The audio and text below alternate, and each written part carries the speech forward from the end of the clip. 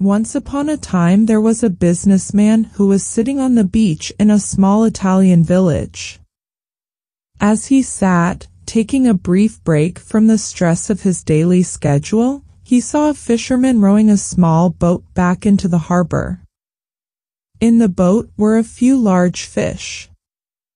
Impressed, the businessman asked the fisherman, How long does it take you to catch so many fish?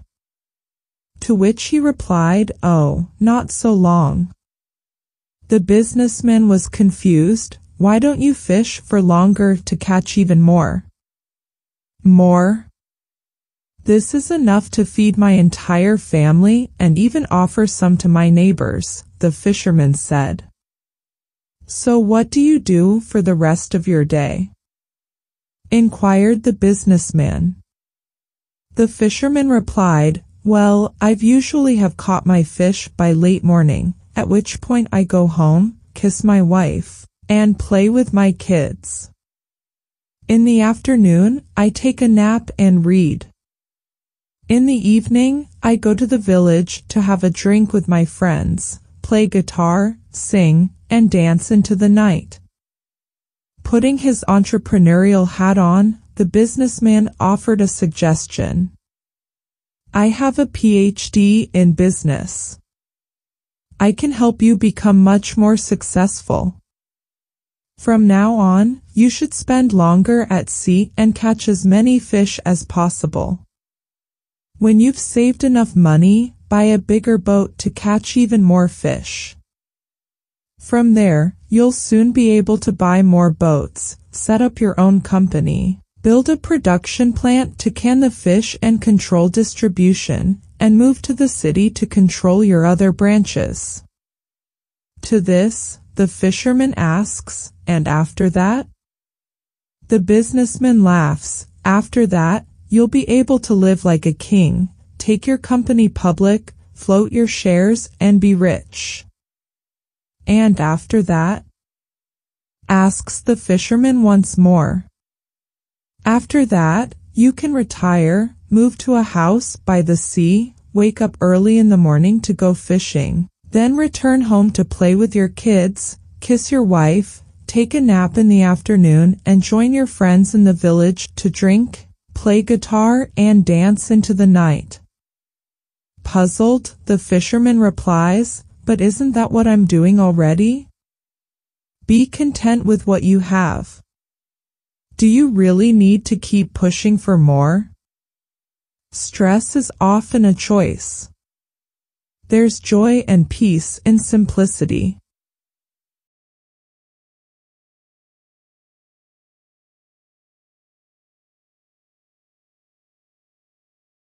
At the beginning of a new school year, a class teacher stands up in front of her students holding a $100 bill. She tells them, put your hands up if you want this money. Every hand in the room goes up, to which the teacher says, I am going to give this money to someone here, but first, let me do this. She takes the bill and crumples it up in her hands, before asking, who still wants it? The hands stay up. The teacher then drops the bill on the floor, stomps and grinds it into the ground, and picks it back up. How about now? she asks again. The hands stay up. Class, I hope you see the lesson here. It didn't matter what I did to this money, you still wanted it because its value stayed the same. Even with its creases and dirtiness, it's still worth $100. She continues, it's the same with us. There will be similar times in your life when you're dropped, bruised, and muddied. Yet no matter what happens, you never lose your value. Life's hardships are inevitable and will all be put through the wringer at some point, often through no fault of our own. Don't let these challenges alter your feelings of self-worth. You'll always be enough. You have something unique and special to give and offer the world.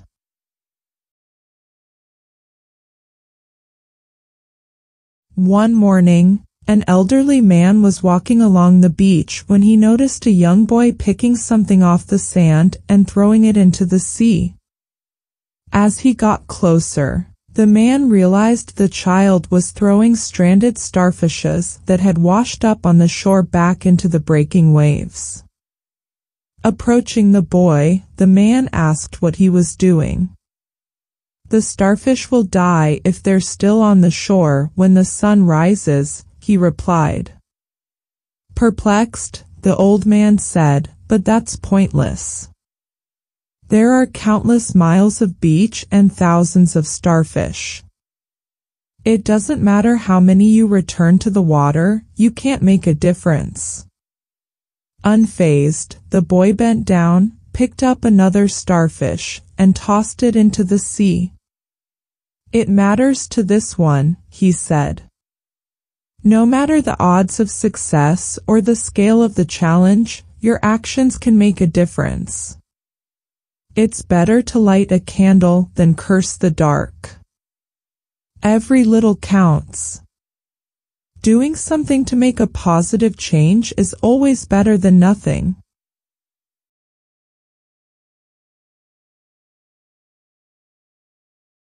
A daughter who was dealing with adversity complained to her father about her life and how things were so hard for her.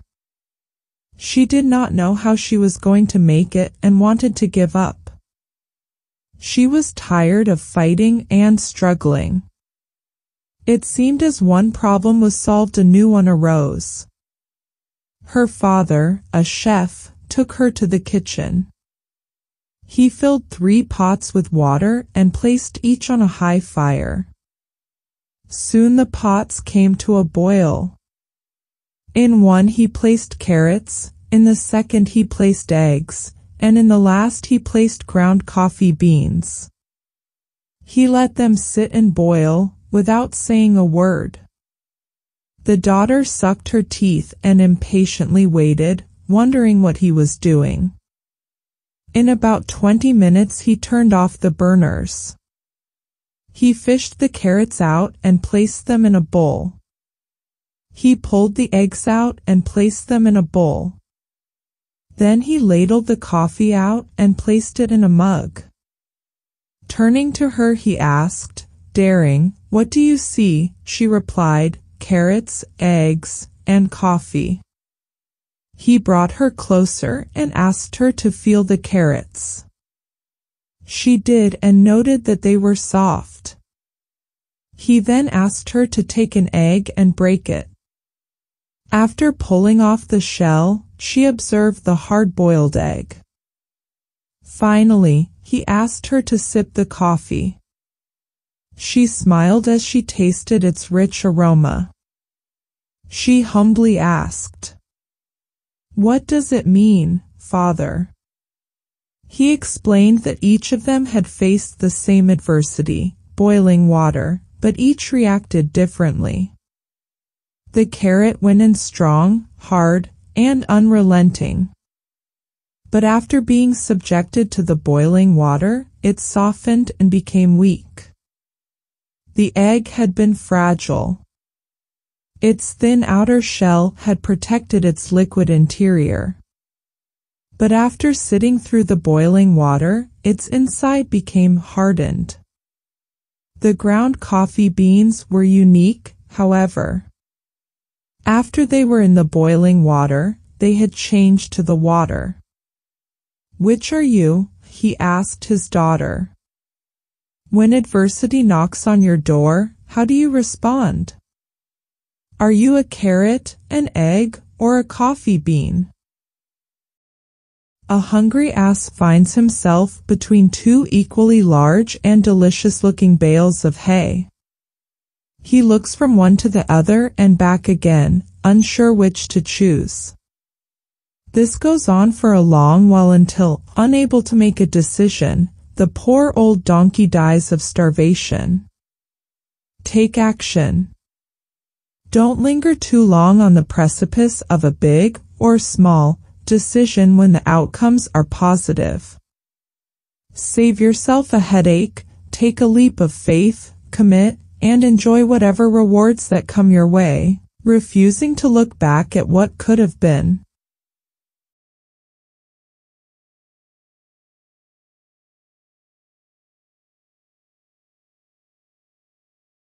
There's a California gold rush story that tells of two brothers who sold all they had and went prospecting for gold. They discovered a vein of the shining ore, staked a claim, and proceeded to get down to the serious business of getting the gold ore of the mine. All went well at first, but then a strange thing happened. The vein of gold disappeared. They had come to the end of the rainbow, and the pot of gold was no longer there. The brothers continued to pick away, but without success. Finally, they gave up in disgust. They sold their equipment and claim rights for a few hundred dollars, and took the train back home. Now the man who bought the claim hired an engineer to examine the rock strata of the mine. The engineer advised him to continue digging in the same spot where the former owners had left off. And three feet deeper, the new owner struck gold. A little more persistence and the two brothers would have been millionaires themselves. There is gold in you, too. Do you need to dig three feet farther? Many of life's failures are people who did not realize how close they were to success when they gave up.